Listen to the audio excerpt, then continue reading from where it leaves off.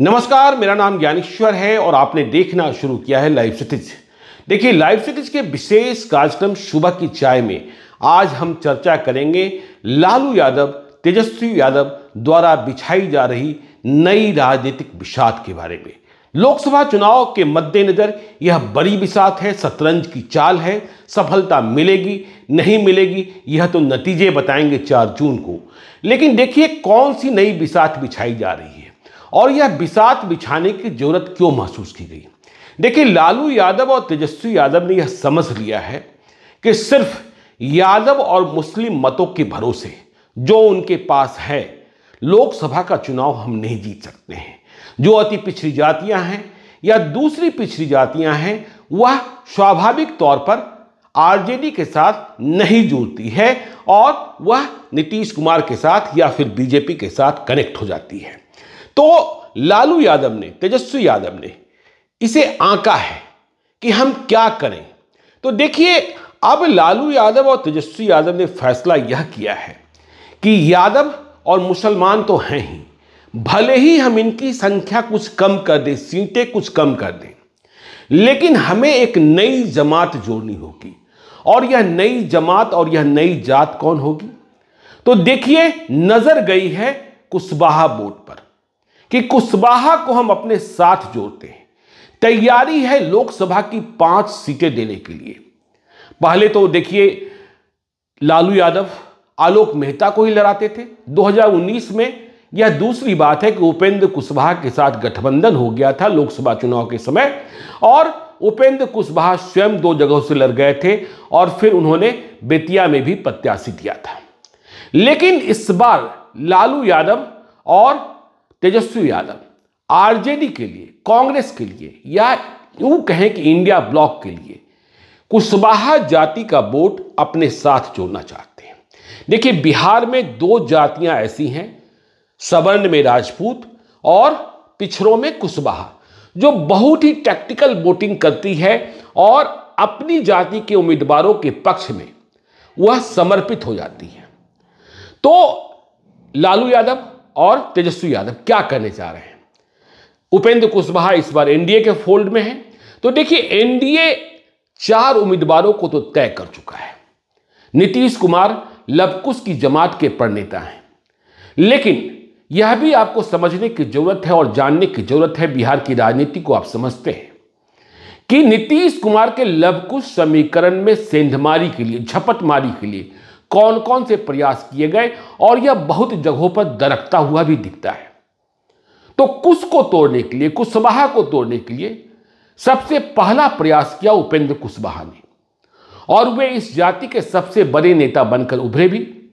लेकिन देखिए, बीजेपी इस सेंधमारी में सेंधमारी की कोशिश करने लगी और सम्राट चौधरी को जिस तरीके से आगे बढ़ाया गया, उपेंद्र कुशवाहा यह समझने लगे कि उन्हें छोटा किया जा रहा है, बीजेपी की ओर से भी और नीतीश कुमार की ओर से भी। तो अभी कुशवाहा समाज में यह द्वंद्व की स्थिति है कि उपेंद्र कुशवाहा को हम नेता माने, सम्राट चौधरी को भविष्य मान ले या नीतीश कुमार के साथ ही रहे। लेकिन इसी बीच लालू यादव और तेजस्वी यादव ने नई चाल चली है। देखिए, हम चर्चा कर रहे थे जेडीयू के उम्मीदवारों की।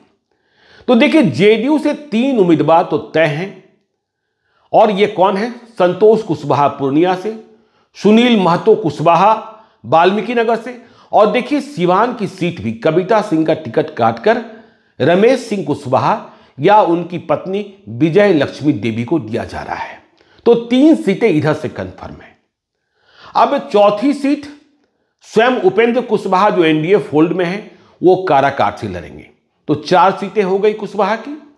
और देखिए खबर आ रही है कि पांचवी सीट भी एनडीए फोल्ड से, एलजेपी की ओर से आ सकती है। खगड़िया की सीट दी गई है। महबूब अली कैसर को टिकट देने के मूड में नहीं है। जेडीयू के एक बागी विधायक को भी टिकट देने के मूड में चिराग पासवान नहीं है। और उनकी पार्टी में रेणु कुशवाहा, जो पूर्व सांसद है खगड़िया की, वो मौजूद हैं। और एक वैशाली से भी पहुँचे हुए हैं अजय कुशवाहा, जो चिराग पासवान की पार्टी के पुराने नेता हैं। तो खगड़िया में भी शायद कुशवाहा उम्मीदवार भी लोजपा की ओर से दिखे। तो उधर से पाँच हो गए। तो अब यदि लालू यादव और तेजस्वी यादव को कुशवाहा जाति का मत प्राप्त करना है, देखिए तो सीटें बढ़ानी होगी। और दूसरी बात, जो आरजेडी ने सर्वेक्षण कराया है, उसमें यह बात महसूस की गई है कि जहाँ एनडीए का कुशवाहा उम्मीदवार हो, वहाँ हम अपना कुशवाहा उम्मीदवार नहीं देंगे। क्योंकि यदि हमने अपना कुशवाहा उम्मीदवार दिया तो कुशवाहा जाति जो टैक्टिकल वोटिंग के लिए जानी जाती है, वह एनडीए के उम्मीदवार के पक्ष में हो जाएगी। इसलिए एनडीए फोल्ड से जहाँ दूसरी जाति का प्रत्याशी हो, वहाँ हम कुशवाहा जाति का उम्मीदवार दें। तो देखिए किन किन क्षेत्रों में प्रयोग होने जा रहा है और क्या क्या बदलाव जिसे हम देख रहे हैं, समझ रहे हैं अंतिम समय में क्या होगा, यह तो घोषणा के वक्त मालूम होगा।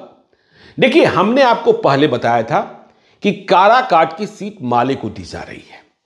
लेकिन नहीं, अब इसमें बदलाव की खबर है कि काराकाट की सीट माले को नहीं दी जा रही है, राजा राम कुशवाहा उम्मीदवार नहीं होंगे। क्यों नहीं होंगे? हमने आपको बताया कि आरजेडी ने यह पढ़ने की कोशिश की है कि कुशवाहा बनाम कुशवाहा हम नहीं लड़ेंगे। तो काराकाट की सीट अब आरजेडी अपने ही खाते में रखेगी। और यहाँ उम्मीदवार जो बनाए जा रहे हैं, जिनकी चर्चा है, घोषणा तक इंतज़ार करना होगा, वह कांति सिंह की बहू हैं।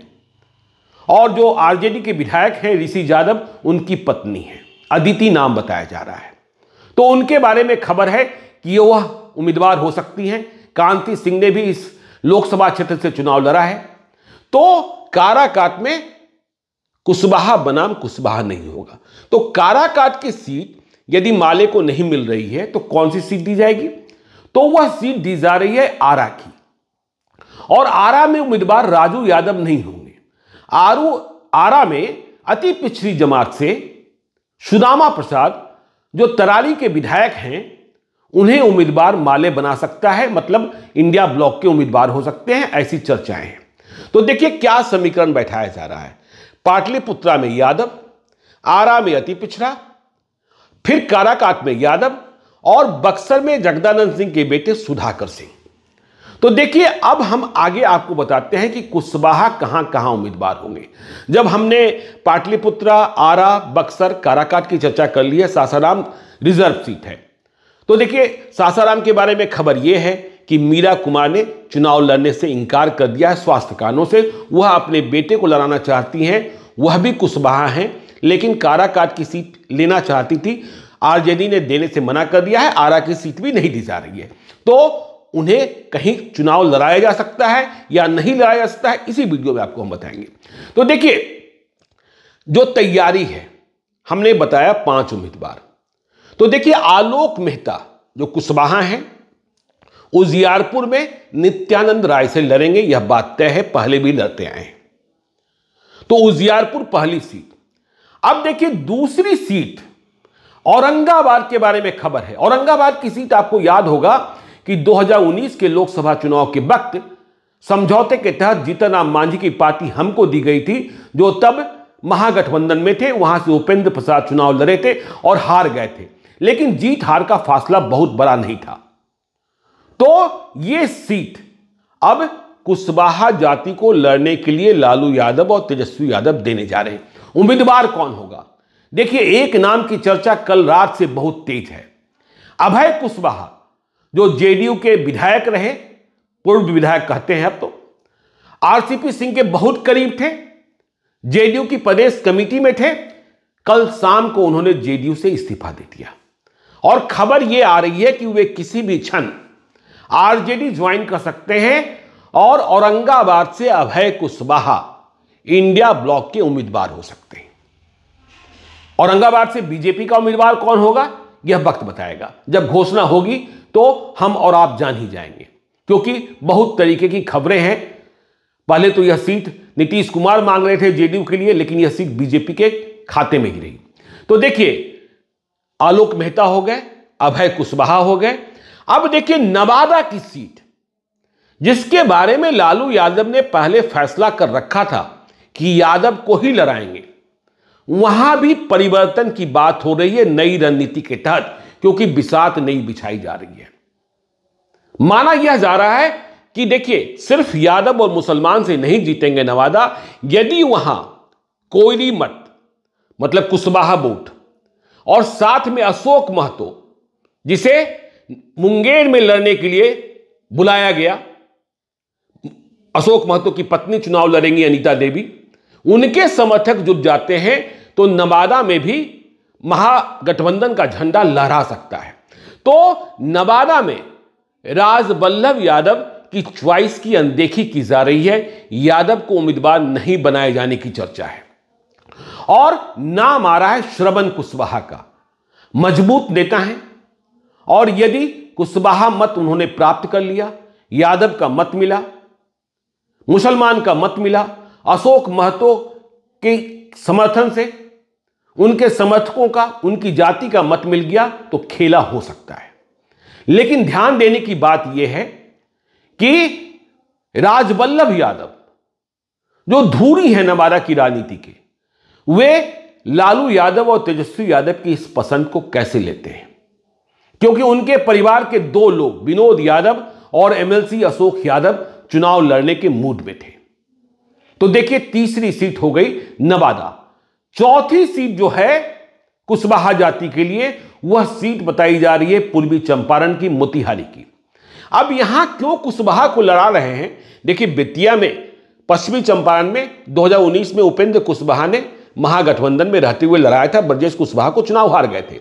लेकिन इस बार कुशवाहा जाति की जो बिसात बिछाई गई है, उसमें पूर्वी चंपारण मोतिहारी की सीट का चयन भी लालू यादव और तेजस्वी यादव ने किया है। तो यहाँ कौन लड़ाएगा, लड़ेगा? और कौन लड़ाए जाएँगे, या ये, यही कह लें। तो खबर यह आ रही है कि डॉक्टर राजेश कुमार हैं। डॉक्टर राजेश कुशवाहा भी कहते हैं केसरिया के पूर्व विधायक हैं। उन्हें चुनाव लड़ने के लिए कह दिया गया है। जो खबरें आ रही हैं घोषणा का इंतज़ार करना होगा, आधिकारिक घोषणा का। तो डॉक्टर राजेश कुशवाहा पूर्वी चंपारण में इंडिया ब्लॉक के उम्मीदवार होंगे। कई चर्चाएँ पहले से थी। देवा गुप्ता के बारे में खबर थी। विनोद श्रीवास्तव लगे थे। अखिलेश प्रसाद सिंह भी अपने बेटे आकाश को लड़ाना चाहते थे। लेकिन जाकर लालू यादव और तेजस्वी यादव की पसंद डॉक्टर राजेश कुमार पर टिकी है। वैसे हमने जब मोतिहारी में कल रात को बातचीत की थी लोगों से, वहाँ के कई पत्रकारों से हमने बातचीत की और भी प्रबुद्ध जनों से बातचीत की तो वे आश्चर्य में थे कि डॉक्टर राजेश कुमार, डॉक्टर राजेश कुशवाहा को चुनाव क्यों लड़ाया जा रहा है? साधन संपन्न बहुत हैं, इसमें कोई शक नहीं। लेकिन समीकरण में कितने फीट बैठते हैं 2020 के विधानसभा चुनाव में? शालिनी मिश्रा, कमला मिश्र मधुकर की बेटी, जेडीयू की प्रत्याशी ने डॉक्टर राजेश कुमार को हराया था। तो लोग आश्चर्य कर रहे थे कि वे कितना मुकाबला दे पाएँगे। लेकिन बिसात तो बिसात होती है। तो यह चौथी सीट हुई। अब देखिए, जिस पांचवी सीट के बारे में चर्चा हो रही है, हमने आपको बताया था कि मीरा कुमार सासाराम से चुनाव नहीं लड़ना चाहती हैं। स्वास्थ्य कारणों से। वहाँ कोई दूसरा प्रत्याशी होगा, चाहे आरजेडी का या कांग्रेस का। तो मीरा कुमार अपने बेटे को चुनाव लड़ाना चाहती हैं। काराकाट की सीट मिल नहीं रही है, आरा की सीट मिल नहीं रही है। तो ऐसे में कहा जा रहा है कि पटना साहिब से जो कांग्रेस की परंपरागत सीट रही है, कांग्रेस हारती ही रही है, कि यहाँ चुनाव लड़ा दीजिए। क्योंकि लालू यादव और तेजस्वी यादव ने यह महसूस किया है कि पटना साहिब में किसी कायस्थ को, लाला को लड़ाने से फ़ायदा नहीं है। कितने प्रयोग हुए, शेखर सुमन को टिकट दिया गया, शत्रुघ्न सिन्हा को टिकट दिया गया लेकिन जीत नहीं मिलती है। लेकिन यदि कुशवाहा को दे दिया जाए तो मुकाबला संघर्षपूर्ण हो जाएगा, ऐसी सोच लालू यादव और तेजस्वी यादव की है। पटना नगर निगम के मेयर के चुनाव में एक प्रत्याशी जो जाति से कुशवाहा थी, उनके पक्ष में जिस तरीके से कुशवाहा जाति के मतदाताओं ने वोट किया था, यह भी राजद ने पढ़ा है। तो यह समझने की कोशिश हो रही है कि पटना साहिब में यादव, मुसलमान, अन्य पिछड़ी जातियाँ, और साथ में कुशवाहा और साथ में दलित, मीरा कुमार के बेटा होने के कारण एक हो जाए तो मुकाबला कितना संघर्षपूर्ण होगा। तो इस नई बिसात को बिछाने में लालू यादव लगे हैं, तेजस्वी यादव लगे हैं। सफलता मिलेगी, नहीं मिलेगी, कहाँ विरोध होगा? क्योंकि आप कई सीटें काट कर दे रहे हैं दूसरी जातियों के राजवल्लभ यादव कितना पसंद करेंगे? पूर्वी चंपारण में जो आपके पुराने दावेदार थे, वे इसे किस रूप में लेते हैं? यह देखने की बात होगी। देखिए, देवा गुप्ता के बारे में क्यों संशय हुआ? क्योंकि देखिए, शिवहर में जेडीयू ने टिकट फाइनल कर दिया लवली आनंद का। तो खबर यह आ रही है कि उनके सामने एक बेस्ट उम्मीदवार को उतारा जाएगा रितु जायसवाल या संजय गुप्ता की चर्चा चल रही है। तो कुशवाहा जाति की नई बिसात। इसके परिणाम क्या होते हैं? और यह बिसात तब भी दिखती है जब उम्मीदवारों की आधिकारिक घोषणा होती है, लिस्ट सामने आती है। उसे भी हम देखेंगे, फिर बताएँगे। लेकिन जो कुछ चल रहा है, वह बताया जाना आवश्यक था। इसलिए हमने आज आपको सुबह की चाय में यह जानकारी दी। आप देखते रहिए लाइव सिटीज़ को। यदि अब तक आपने हमारे यूट्यूब चैनल लाइव सिटीज़ को सब्सक्राइब नहीं किया है तो ज़रूर कर लीजिएगा। और यदि इस वीडियो को फेसबुक पेज के माध्यम से देखें तो पेज को लाइक कीजिएगा। ट्विटर पर भी हमें फॉलो कीजिए। धन्यवाद।